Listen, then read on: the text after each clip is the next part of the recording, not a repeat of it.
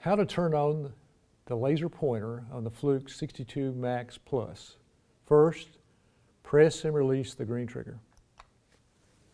Then take the select button and press it multiple times until you see LAS on. At this point, you use the set button to turn it off or on.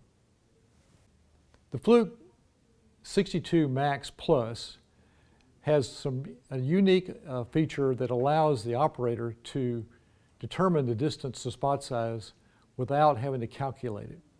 Uh, as you can see, the laser pointers in this case are the, the describing the circle that's being measured, and it is larger than our target area of 12 inches.